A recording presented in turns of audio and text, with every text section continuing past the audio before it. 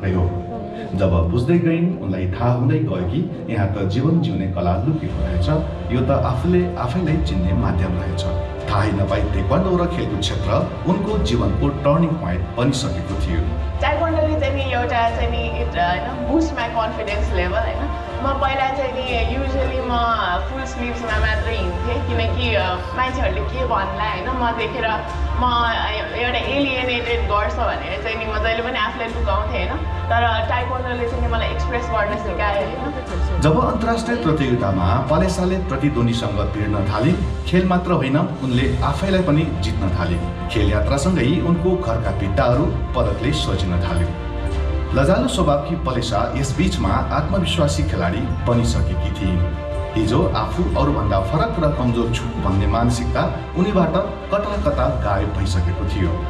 खेलकुद यात्रामा उनले धेरै कुरा सिकिन् थाहा पाइन्। लाइफमा कसैले नि हेल्प गर्दैन होइन? You have to do it in your own way होइन? You have to be more stronger अनि त्यसै गरेर चाहिँ नि सबै प्यारा एथलिट्स अनि नन प्यारा प्लेयर्सहरूलाई पनि बिलिभ इन यर सेल्फ होइन? केही पनि इम्पोसिबल चाहिँ छैन होइन हामी डिफ्रेन्टली एबल पिपल हो हाम्रो काम गर्ने र एबल पिपलहरूले काम गर्नेको डिफ्रेन्ट छ ढिला टाइम पनि लाग्न सक्छ होइन एउटा काम गर्ने तर कम्प्लिट चाहिँ नि हुन्छ सो बिलिभ इन सेल्फ वर्ष दुई हजार अठहत्तर त उनको खेल जीवनको लागि झनै महत्त्वपूर्ण बन्यो। सोही वर्ष उनी टोकियो ओलम्पिकमा छानिन् त्यहाँ उनी झन्डै झन्डै पदकको नजिक पुगिसकेकी थिइन्। तर नौ सेकेन्ड खेल सम्हाल्न नसक्दा उनी पदक विमुख हुनु पर्यो यद्यपि नेपाली ओलम्पिकको इतिहासमा दुईजना प्रतिद्वन्दीलाई हराएर उनले नयाँ इतिहास भने रचिन्। टोकियोमा पदक गुम्यो तर त्यहाँबाट फर्के लगत्तै परेसाले एसियन युथ पारा गेम्समा स्वर्ण पदक जितिन्। अब उनी सामान्य पलेसा गोवर्धन होइन ओलम्पियन पलेसा बनिसकेकी थिइन्। उनको गलामा अन्तर्राष्ट्रिय स्वर्ण पदक थियो। एक दशकको खेलकुद यात्रामा पलेसाले खेलकुदका धेरै पक्ष बुझिसकेकी छिन्। खेलकुदमा शिक्षाको महत्त्व धेरै रहेको उनको अनुभव छ र आफूले सिकेको अनुभव भविष्यमा पारा खेलाडीहरूको भलाइमा प्रयोग गर्ने सपना बुनेकी छिन् Palesa गोवर्धनले। Like a social work सबै अ, ठाउँहरूमा गएर चाहिँ नि होइन also I would love to work with women होइन women empowerment talking about women empowerment and sports together it's very rare to see women in as a coach होइन so त्यसको लागि पनि आई वुड लाइक टु हुन्छ नि encourage people झट्ट हेर्दा Palesa Olympic खेल्ने एकजना सामान्य खेलाडी लाग्न सक्छ तर उनले भोगेको खेलकुद र देखेको सपना अरूभन्दा फरक छ।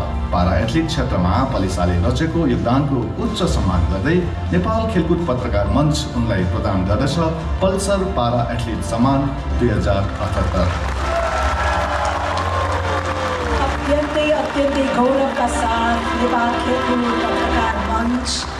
यस वर्षको प्यारा एथलिट सम्मान प्रस्तुत गर्दछ पलेसा गोवर्धन टेक्वान्डो खेलाडी ओलम्पियन राष्ट्रको गौरव।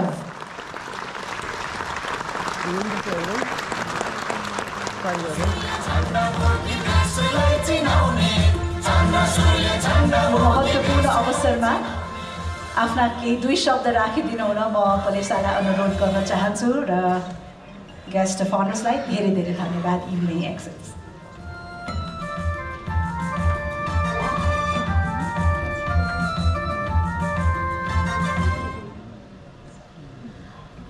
Namaskar.